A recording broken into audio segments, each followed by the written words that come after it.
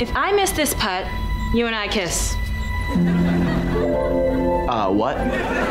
But I let you go on the condition that you'd stop spraying graffiti all over Swellview, and and that feels really good.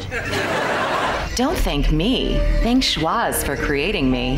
He's a genius. I bet you say that to all your programmers. Only the cute ones. Yeah, we should probably kiss. Well, then it's a good thing I brought my lips. Oops. Uh, what? What is happening? Quiet, Henry. I'm working on something here. Lips. What? You can't kiss me. I'm still on a date with Mitch. I wasn't gonna kiss you. I was gonna bite your nose. Ah. Hmm. Anybody else getting real uncomfortable? The cable's gonna snap. Hey, you don't happen to go to Swellview Junior High, do you? Yeah, I, I just started there. No way. I go there too. Ready to go up to the roof? Yeah, in just. just a sec.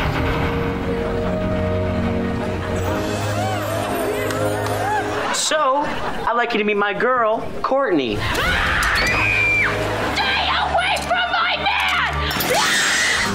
Pronounce us husband and computer wife. Mazel tov. What are you? No, oh, no, you better not. No, no, please. don't. Isn't that more fun than fighting with me? No. Maybe. Did you kiss that girl, Wall Dog?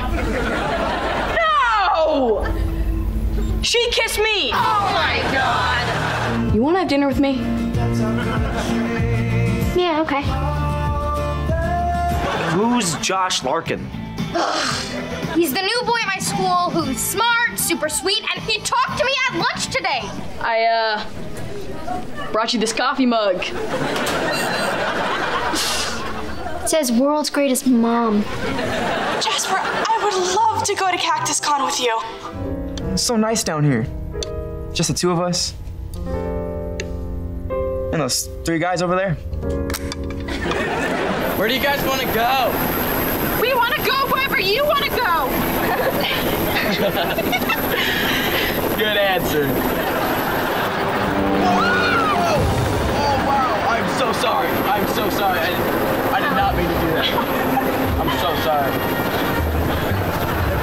This is a pretty crazy way for us to meet. I know. Isn't it cute?